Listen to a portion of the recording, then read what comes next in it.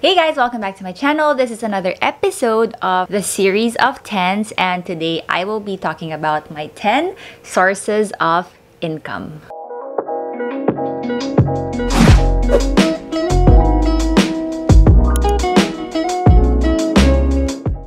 So if you are new in this channel, my series of 10s is where I talk about serious and makabuluhan adulting things.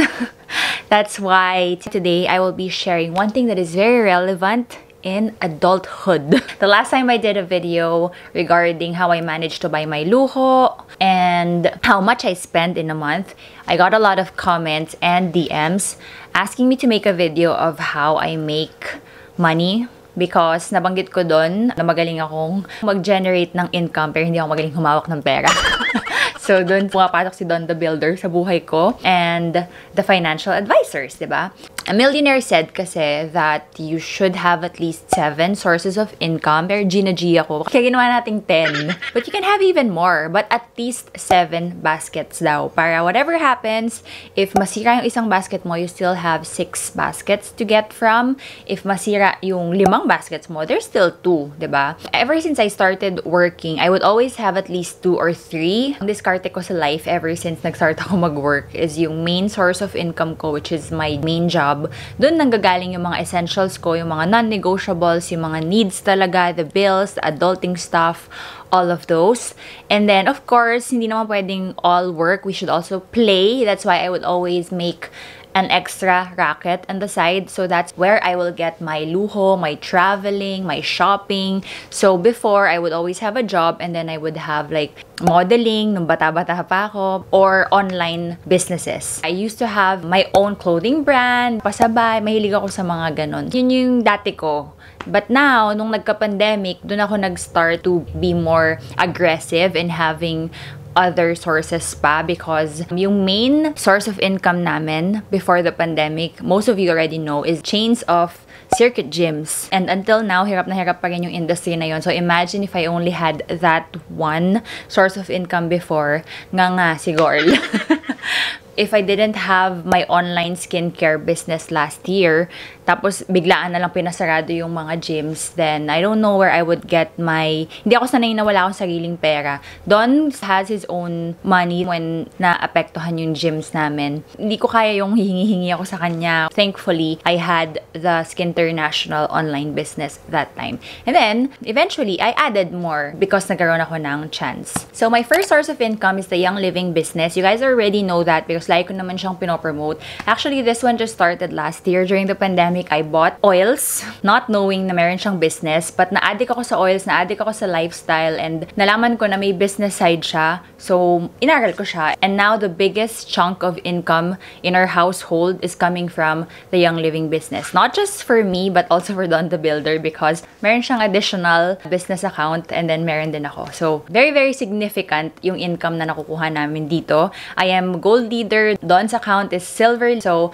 if you guys are interested interested kung magkano yung kinikita ng gold and silver, I'll put the income disclosure statements in the description box down below. And if you want to do the business of Young Living as well, then you can message me. I can help you. Actually, yung business ng Young Living, meron siyang 7 or 8 ways to earn. Right now, I am targeting, I think, 4 ways dito sa business na to. And then the rest, someday, ma-achieve ko din yon. Number two is doing the retail business of Young Livings. Ito, ano, hindi siya masyadong malaki, but still, since I am a distributor, yung mga non-members, they buy from me if hindi pa sila ready maging member, and then I get 24% profit. Sometimes 14% if nagbibigay ako ng discount. Kaya naglolokohan kami lagi ng mga friends ko or ng mga umu-order sa akin na meron akong warehouse because I always have a lot of stocks here at home because yun nga, I do retail as well. My third source of income is YouTube.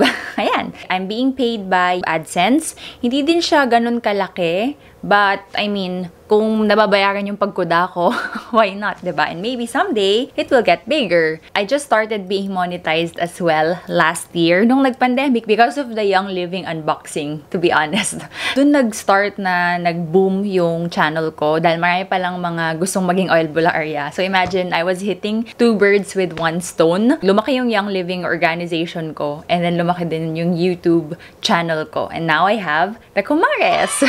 if you guys are planning to do YouTube, just do it na lang and then just keep posting whatever makes you happy. Huwag kayong ma-pressure to do something na trending, kung ano yung kaya mong i-share while talking to the camera, then that's what you do because you'll never know. My videos, hindi pa ako monetize, were mostly plants and yun nga yung essential oils.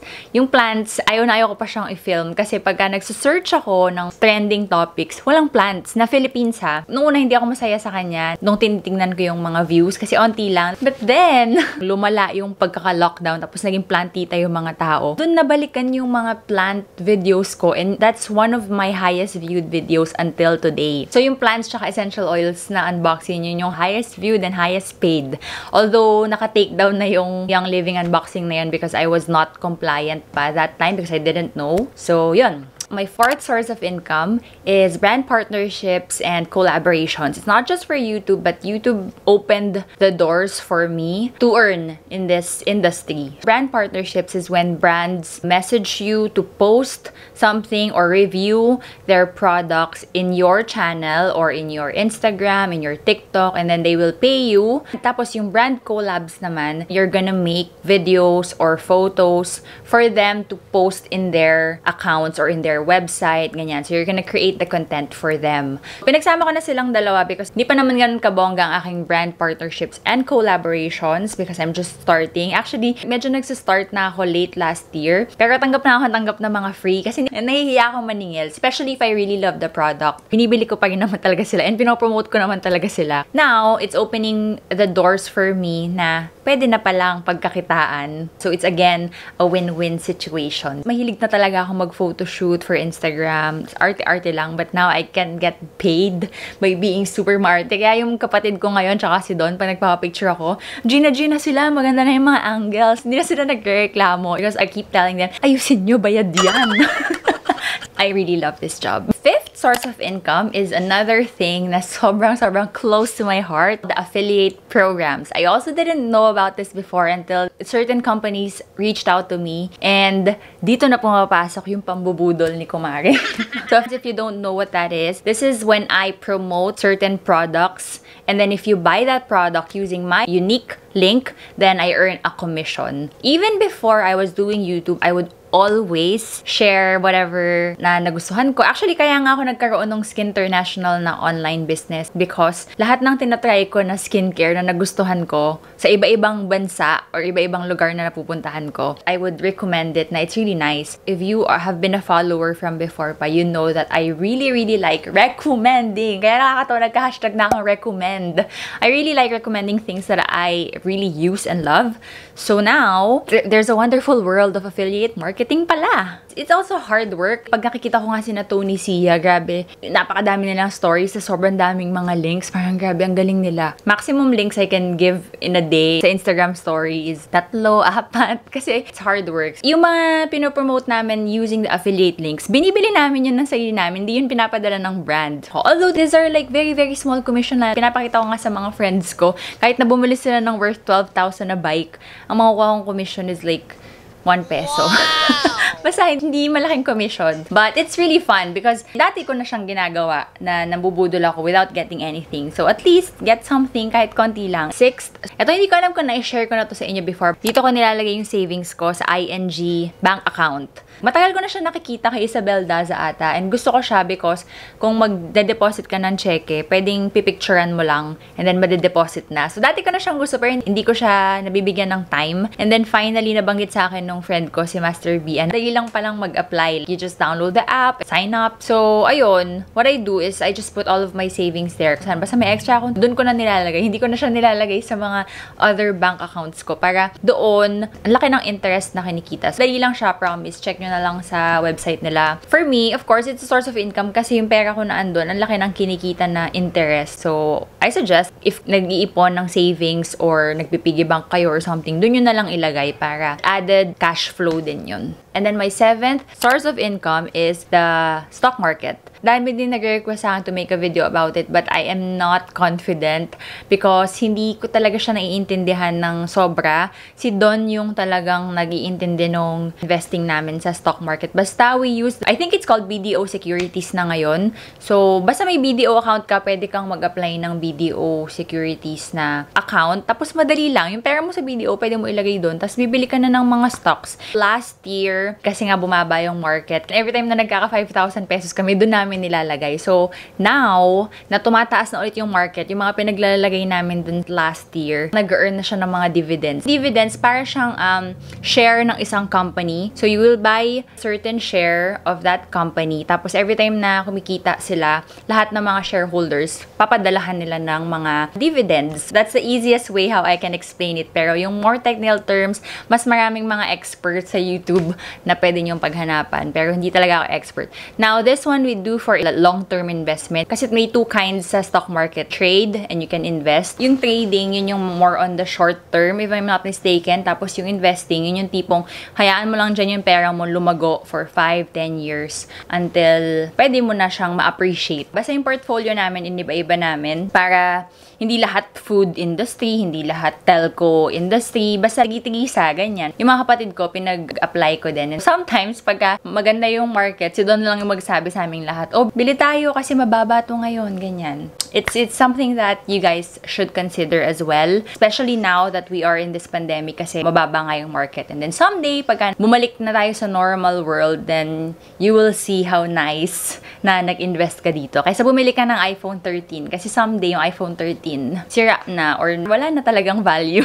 That's why I'm still using iPhone 10 because all of my money is growing somewhere. But I think kailangan ko na yun bumili because it's part of my job as a content creator. Pero as long as maganda pa yun yung pictures na na-upload ko sa Instagram, then I will still stick to that. So, the next source of income is, di ba, yung kanina, yung BDO, we use that for long-term investment.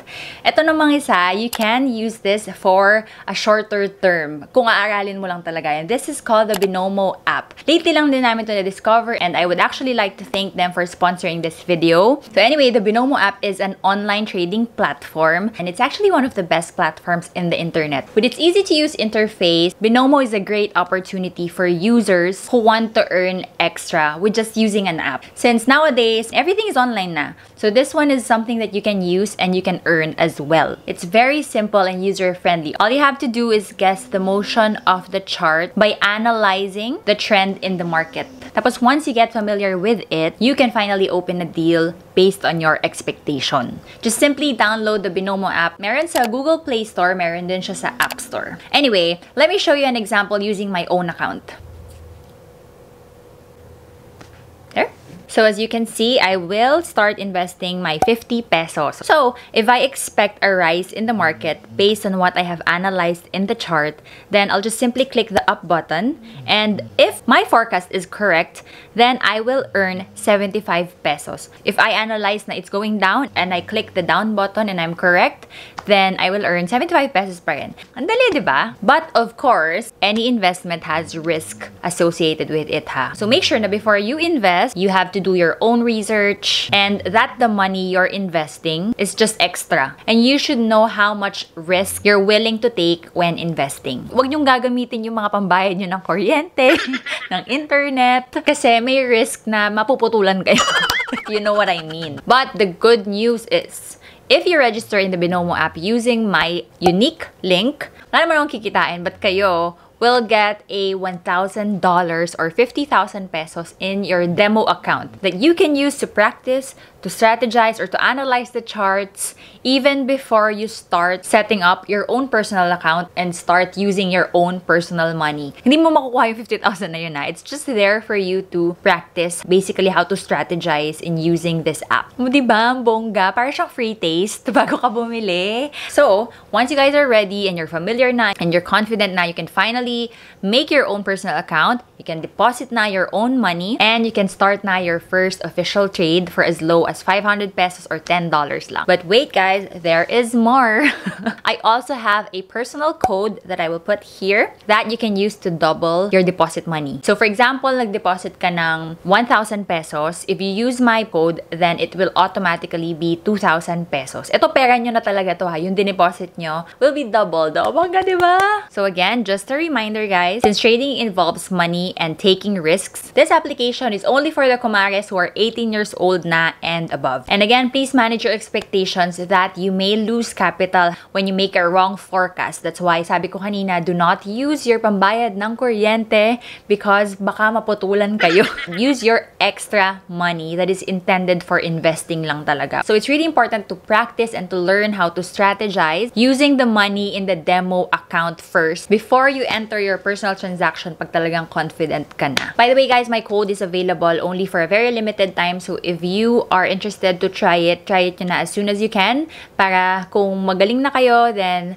may extra pera kayo sa Pasko. Because Binomo has a lot of ways to withdraw. O, di ba? Bongga. So, yeah, this is one source of income that we just added recently. Nakakatuwa siya because it's easy to understand compared to other trading apps. And yung kuya ko is more expert person when it comes to trading. And I actually asked him to check it first before namin itry. Kaya, if, if you guys want to try, then there you go. So my next source of income, you may all know about this already. It's, it's a activewear line in partnership with my two friends. Ito passion project lang namin to. So 'di ba sabi ko sa inyo, I would always have like an online business. This is something na you do because passion mo siya, just nag-enjoy ka. Tapos kumikita ka. Before I had my own clothing brand and then nagkaroon ako ng skincare, reselling business. Yan yung mga hilig ko talaga na pwede kong pagkakitaan. And And then now, last year, nagkachika-chikahan lang kami ng mga friends ko because they are also owners of the gyms and wala kami magawa because sarado yung gyms. We are working out from home. Then,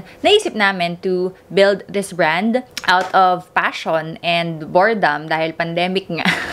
Now, we turned one year old already. So, yeah, sobrang saya niya because I'm doing it with my friends and then wala siyang pressure because, alam mo yon hindi naman siya yung main source of income but it's extra. Ine-enjoy nga lang namin. So, you should have something like that as well na ine-enjoy nyo and passion nyo. So, for example, you guys love to bake, sell cookies, or if mahilig kayo gumawa ng accessories, then make personalized accessories. Super easy na to have online businesses nowadays because sobrang dami ng couriers, pwede nyo pang ilagay sa Shopee. So, isipin isipin nyo kung ano yung passion nyo. Sister ko, nasa US naman siya, nabobore na rin siya minsan. So yun, she's doing a pasabay shopping doon sa US. So yun, yung mga ganong mga diskarte lang na you will still have fun but you will earn. And then my last source of income is the Trian and Closet. This is my online closet. Dati na namin tong ginagawa ng mga kapatid ko. Bata pa lang kami. Legit na garage sale because we love shopping. So, we would always sell yung mga hindi na namin gusto na gamit or mga damit so we can buy new ones. We grew up doing that para may pambili kami ng bagong mga outfits. Kasi bata pa lang kami, maarte na kami. And then yun, nakasanayan na namin. It's one way to declutter kasi hindi naman pwedeng lahat itatambak mo lang din dyan. This is a source of income for me because I do it. Pagka kailangan ko ng pera, I would find things and then I will sell it. Alam niyo yung mga nakatambak lang dyan na nabili mo lang because impulsive ka and then tagal mo na hindi nagagamit, then just let it go. You can sell it. Somebody else might be able to love it kesa nakatambak lang sa house nyo. Ayun. Um, I hope I have answered all of your questions. Now you know where I get my money. I hope you guys learned a thing or two in this video and inspired you guys to broaden your cash flow baskets. You can start with two or three. Sabi ko nga sa inyo, for the longest time, I only had two or three the most. Netong pandemic lang ako nag-explore ng other things. Yung mga investments namin and properties. Hindi ko na siya sinama because I'm not getting cash flow from that pa naman right now. But they are earning something na already like our properties. Nag-appreciate ang properties every time. So for sure, if ibenta ko yon kikita na rin ako. It, it will give me income but it's not like something na I considered na flowing cash. Buti kong ipinaparent ko or something something that can be considered as a cash flow, but maybe someday. But for now, they're just there sitting and appreciating its value. Same as the investments that we got from Sun Life, Pru Life, ayang mga life life na yan. so yun, I hope you guys enjoyed this video. If you did, please give this a thumbs up, please subscribe and click the bell button para updated kayo on my next videos. Bye!